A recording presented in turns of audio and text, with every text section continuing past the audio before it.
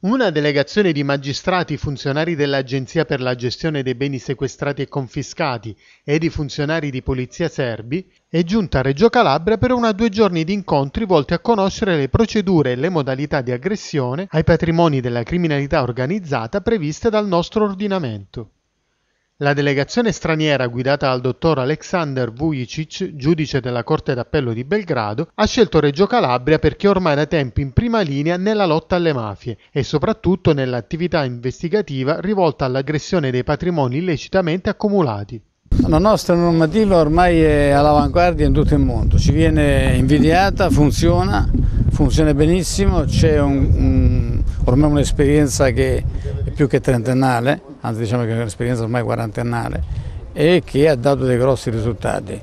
Eh, adesso il problema, ripeto, è gestire soltanto i beni perché ci sono una serie di problematiche di natura proprio tecnico-amministrativa che va affrontata per evitare che questo patrimonio in un qualche modo poi eh, perde di valore che non sarebbe neanche giusto e, e soprattutto non sarebbe un bel esempio. Ecco, secondo lei, signor Generale, eh, mettere questo patrimonio eh, a disposizione dei privati eh, potrebbe essere una soluzione? Anche perché abbiamo visto che sino a questo momento eh, gestito dagli enti comunque non ha dato granché di risultati.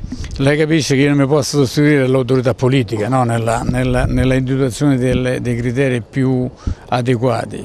Io dico soltanto che eh, tra i beni eh, confiscati sicuramente c'è il profilo delle aziende che laddove gestite dai privati potrebbero probabilmente dare dei risultati migliori ma per un fatto diciamo, puramente manageriale e tecnico, eh, diciamo, eh, tecno-gestionale.